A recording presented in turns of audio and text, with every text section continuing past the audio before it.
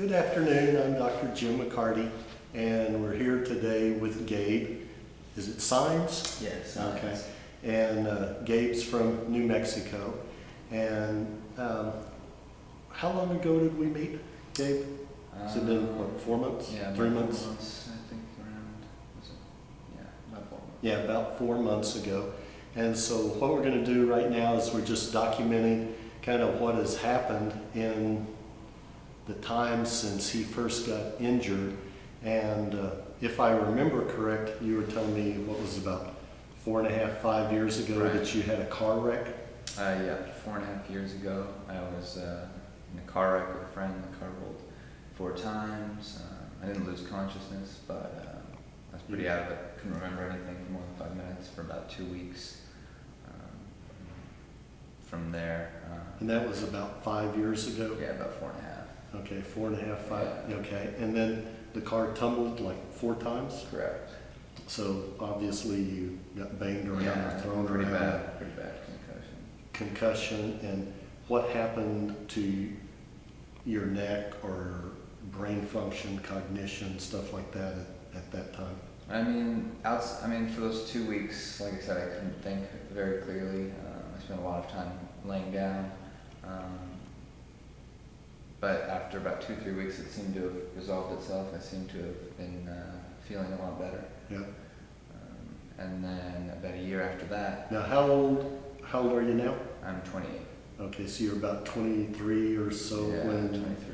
when the car wreck happened? Uh-huh. Okay, so two weeks of sore muscles and Right. brain fog from the concussion, and then you kind of got over it. hmm Correct. And was life pretty much normal? Uh, it seemed to be. Okay, and then what happened with the scuba diving? So a year after the car accident, I went for a five-day um, scuba diving certification in Thailand. I noticed some things like after the first day. You know, I was kind of not thinking as clearly, but I kept going, and it was a five-day certification.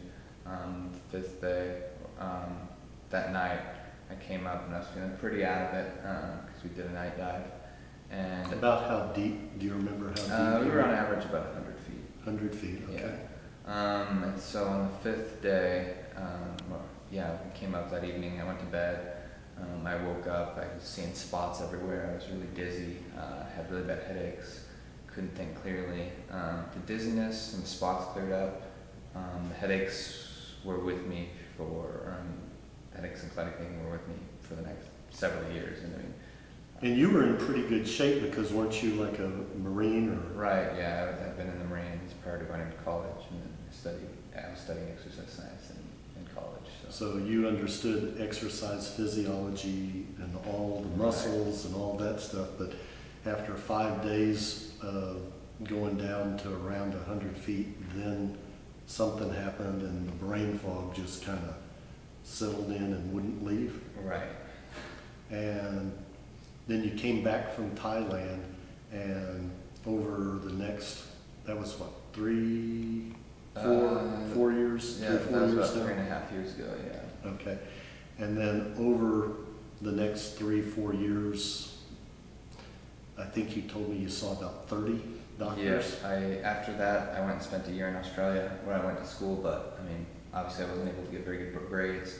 Um, I managed to pass my classes, but I'd been a straight A student prior to that, so that was a big So difference. straight A's prior to the car wreck and the injuries uh, that happened from the scuba diving, from the pressure. Right, And so then you were going to school, but having trouble uh, maintaining the same level of academic.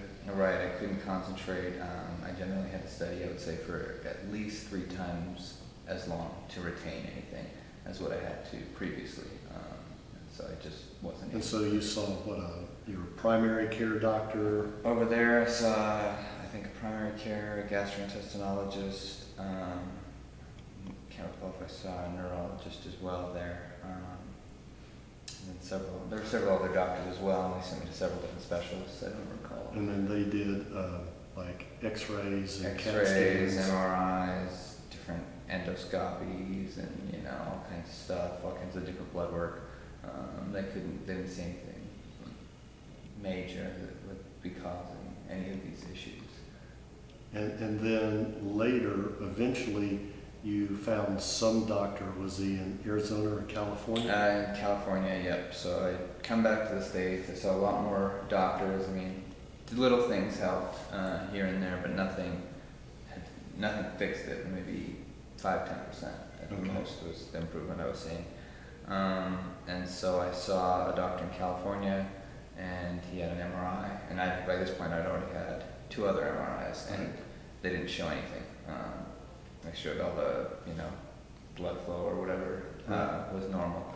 So, but this MRI was three times as powerful as the typical MRI, and Right. he was a doctor that specialized in veins, and in particular in veins, uh, and their blood flow to the brain. Um, And what did he find? that 50% of the blood flow to my right jugular vein was being um, restricted by my uh, the skull itself. Um, I guess the bones, you know, were pinching Yep. pinching the vein closed, so I was only getting 50% blood flow um, to this side of brain, the brain. So of course it was, you know, affecting all kinds of other issues with my hormones and my basically ability to function. Right. And what did he recommend?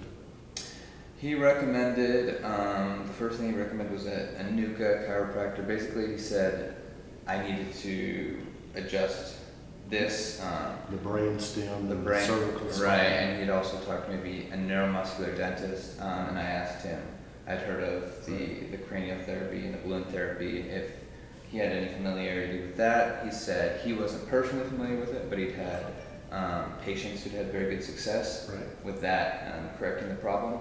Um, so that was when I uh, started looking for someone to Now, do that. now, didn't he go in and do actually kind of an angioplasty type of thing using a balloon into the, into the blood vessels of the brain? Yes, he did. Uh, I can't recall the procedure itself. I mean, he called the condition chronic cerebral vascular insufficiency (CCSVI). Um, and so he said I had two other spots that were restricted, and he went and ballooned those open. I think one at this vein right here, and then my left jugular. And then he tried to balloon open the right jugular, um, and he said, you know, there's nothing we can do with about this one because it's structurally closed. He's like, we could put a stent in there, but that's not going to work because you know it's, it's structurally still it was just going to crush crush the Right. stent. Um, so he said, you know, at this point, this is now to have to refer you to someone who can actually Right. structurally change Right. um, the skull and the areas around. The skull Was that when, was that when you got online and found me or called me or? Yes, I, I well, I guess I'd heard of the therapy uh, Right. prior to going there, but I'd already booked the appointment to go see him. Mhm. So I figured, well, I might as well. I mean, I've already made this appointment.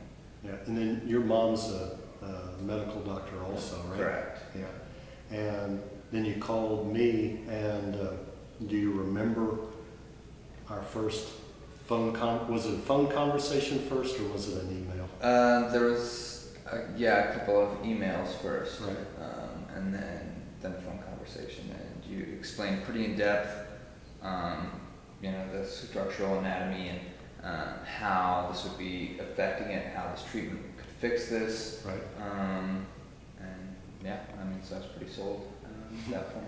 yeah, and then um, you came, and I know there was some skepticism from various family members, and uh, then I think we, if I remember correctly, I think we did eight treatments in four days. hmm And um, the first, do you remember your first balloon treatment, what it felt like? Uh, yes. Was it scary? Did you hear anything? Uh, yeah, we heard some, some cracking. There's definitely some pressure. I mean, it was unpleasant, but I mean, it wasn't, certainly wasn't like excruciating or anything. How long did that last? Uh, Um, about two or three seconds. Okay. And um, if I remember correct, we did one in the morning and one in the afternoon, like on Monday, one in the morning one in the afternoon on Tuesday, same on Wednesday, same on Thursday. And the first seven treatments, you felt the pressure, you heard the cartilage moving, but you didn't really notice much except that it felt kind of like we stirred it up. Right. And then what happened with that eighth treatment, the Um, very last treatment of that first trip to come see me? So I noticed within about a minute and a half of the treatment finishing, um, an immediate improvement in cognition, which would have been my main issues, constant headaches and an inability to think clearly.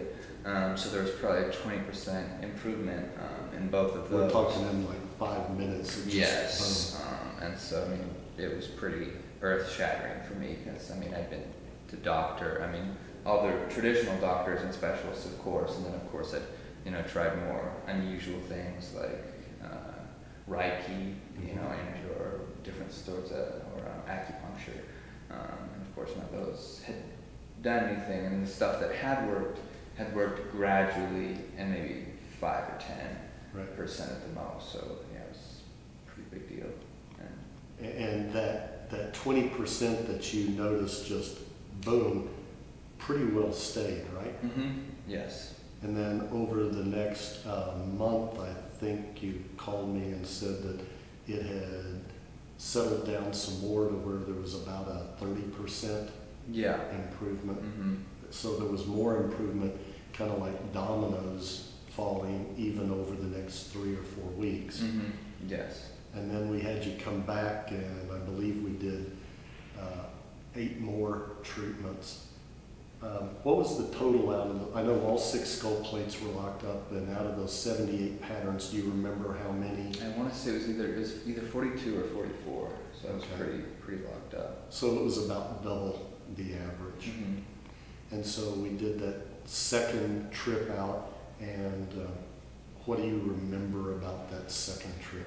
Um, the second trip, I know we went a little lighter than the first, and then I kept bugging you if we could go a little heavier, so we went a little bit heavier. Um, so that one it took a little longer to settle down. I didn't notice the improvements until I want to say about ten days out. Uh, Okay. About ten days out. I don't know if you So remember. after we finished the second group of treatments, then it took about ten days before, because I kind of stirred it up, and then it took about ten days to settle Mhm. down. Yeah, and then I woke up on the 10th, morning of the 10th day, and it probably jumped up to maybe 55, 50, somewhere around there. I mean, but another big improvement, and I, at that point, I was, you know, 100% sure that, okay, this wasn't just like placebo effect or something, you know, that I maybe just thought I was feeling better. Like, there was no question um, for me at that point Yeah. um, that it was That we were on the right track. right. Uh, And what we're again doing is, like I mentioned, the uh, inner ear,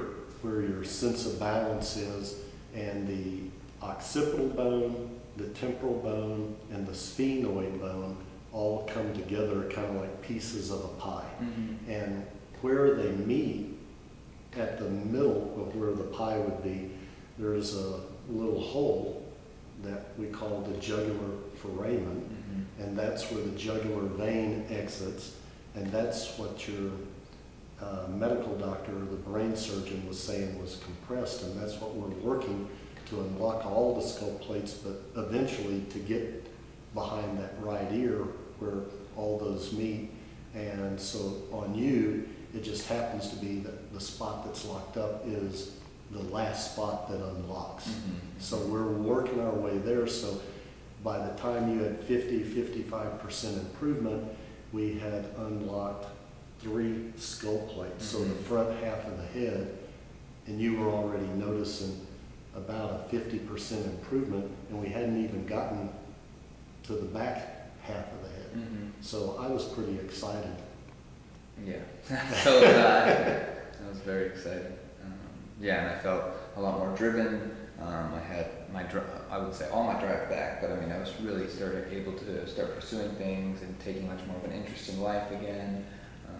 So I mean, those were some. I know somewhere in there you were trying to decide about going back to college and either studying to become a chiropractor or an osteopath. Right, right. And I think you're more on the osteopathic Yeah. uh, schedule at this point, Mhm.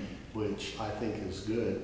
And then with that third trip to see me, then uh, we were working to get a little bit more movement Mhm. on the back of the head. And so we kind of stirred stuff up Yeah. Quite a bit. And uh, over the next 10 days to 30 days, uh, things were trying to settle out, but it never did completely Right. settle out. And so we, again, we stirred it up, but then this fourth time, we've been working to do fine tuning Mhm. as we've been working on the back of the head on the occiput. Uh, so we've just finished, what, the fourth trip down? Mm-hmm. And, um, so what have you noticed this week? Um, I mean, nothing as immediate as the first one, but I definitely noticed some cognitive things. Um, I don't know, colors seem a little brighter, things seem a little more clear. My mind seems more relaxed. Um, obviously, you know, the headaches are still kind of calming down from the, the treatment itself. Um, and with the last treatment, I had felt a bit of a regression Uh-huh. um, because it didn't have a chance to, to I guess, settle down. So this time, now I definitely can tell that it's it's improving. Um, so yeah, I guess those would be the the things I can tell so far. I'm sure Right. within the next ten days to two weeks. Yeah, no, I'm, I'm excited for you. Yeah, I'm, I'm very excited to have a life again. And uh, I think you said you're gonna go on a backpacking trip here Mhm. soon? Yeah. Yeah, I think that'll be good, the fresh air Mhm. and all that. I, I kind of uh, warned you against any kickboxing Right. or uh, grappling, getting hit in the head and running on concrete and heel strike Mhm. and all the things, getting on a roller coaster or whatever that whips you around. So, uh, car wrecks. Mhm. But, uh, yeah, other than that, the things that are a little bit more gentle and relaxing, I think, uh, oh, and we, uh, we talked about lifting weights and avoiding having the bar Right, any right across spine. the, the spine there. But other than that, any of the exercises you want to do, we're really trying to stretch the Mhm. flexors on the Mhm. front half of the body and tone up the extensors on the spine, on the back, and anything to uh, build the core muscles. Mhm. All those things are Okay. going to be helpful. So, anything else you can think of for the people that are watching Um, this and might be almost everybody when they first hear about it, they think this is outside the box and they're skeptical. Right. Yeah. I mean, there's nothing I could say except you'd have to try it for yourself and uh, let that be your guide. Because for me, um, I mean, because I I had a lot of treatments done, and a lot of times, you know, I'd go, oh, this is it. This is what's wrong with me. And you know, my mom being a doctor too, she Yeah. thought she, you know, uh, successfully diagnosed it, and you know, there were some good, you know, signs. Uh, it seems like that could be it, and nothing ever panned out. So I wasn't like immediately, you know, like this is gonna save me. You know, Yeah. this is it. This is what I've been looking for. I was, you know, all right, we'll give it a go. We'll see. We'll see if it works. And then the last treatment made a huge difference. And then I was like, okay, well, let's let's let's go. Let's keep on with it. So, Yeah. Anyway, I'm happy for you. Well, thank you, Doc. I appreciate it.